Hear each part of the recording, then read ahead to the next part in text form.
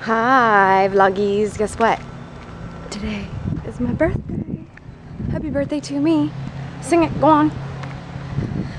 Anyway, I'm just taking a quick little walk outside because today I am leaving Tampa and flying to LA for the Fox Road trip, which I'm sure you have been waiting for. So take a look. Not, we can't say no more palm trees because we're just gonna go see West Coast palm trees instead, huh? It's been lovely. I'm like, I have color. Vitamin D has entered my skin for the first time this year. And I'm ready to go. So just saying goodbye.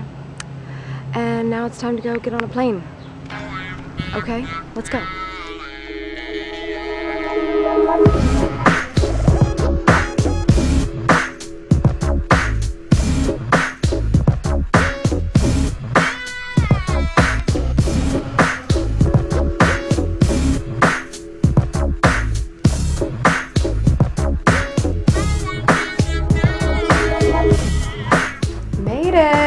I'm in my hotel and um, not too shabby. Four points. Little Sheraton.